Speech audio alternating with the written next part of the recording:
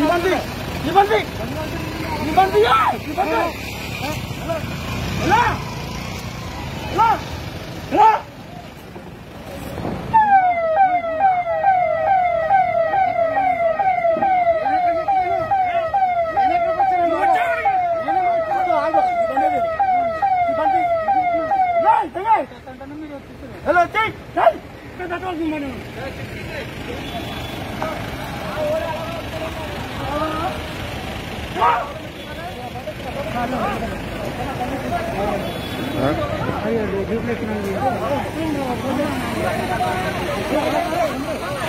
ఇంటిగా మాట్లాడుతున్నా చూసుకుందాం రేపు ఖాళీ చేస్తున్నా. ఇంటిగా మాట్లాడుతానండి మాకు కావాల్సిన రోడ్డు ఎనకపల్లి దాకా రోడ్డు వచ్చారు. అడింపల్లి రోడ్డు అడింపల్లి జనం లేరా? ఎనకపల్లి ఎమ్మెల్యే గారు జనం ఉన్నారా?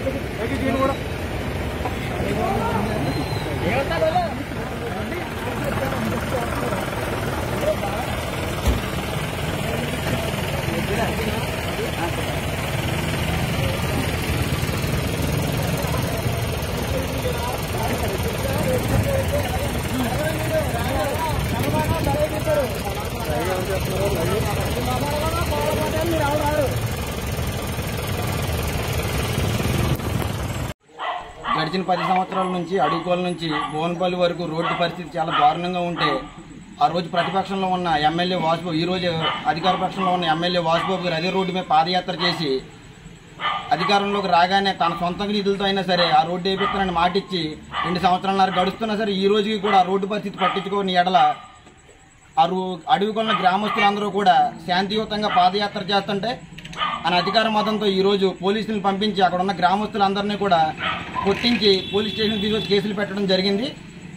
ఏమన్నా అడుగుతుంటే పోలీసులు ఎందుకు కేసులు పెడుతున్నారు ఎందుకు అని అడుగుతుంటే కోవిడ్ నిబంధనల వల్ల మీరు పాదయాత్ర చేయడానికి అనుమతి లేదంటున్నారు. కోవిడ్ నిబంధనలో ఓన్లీ జనసేన పార్టీకి జనసేన పార్టీ కార్యకర్తలకు మాత్రమేనా? అధికార పార్టీ ఎమ్మెల్యేలకి వాసుబాబు గారికి అధికార పార్టీ కార్యకర్తలకి నాయకులకి లేవా? వర్తించలేదా? ఎందుకంటే కోవిడ్ టైంలో మీరు చూస్తూ ఉన్నాం అధికార పార్టీ వాళ్ళు చాలా చాలా రకాలుగా చాలా కార్యక్రమాలు చేసుకుంటూ ఉన్నారు. మాస్క్ కూడా లేదు. మీ సీఎం జగన్మోహన్ రెడ్డి కూడా ఏ కార్యక్రమంలో కూడా మాస్క్ పెట్టుకునే పరిస్థితి. మీ సీఎం జగన్మోహన్ రెడ్డి గారికి ఎన్ని ఫైన్లు వేయాలి అలాగైతే ఎన్ని కేసులు పెట్టాలి మీరు ఒకసారి ఆలోచించుకోవాలి. మేము శాంతియుతంగా మేము మా రోడ్డు బాగాలేదు మేము అని అడుగుతుంటే మీరు అన్యాయంగా మా వాళ్ళని పోలీస్ స్టేషన్లో కేసులు పెట్టి అక్రమంగా కొట్టించడం అనేది చాలా దారుణమైన విషయం. దీన్ని జనసేన పార్టీ తరఫున మేము ఖండిస్తున్నాం. దీనికోసం మేము ఎంత పోరాటకైనా సిద్ధం. జై జనసేన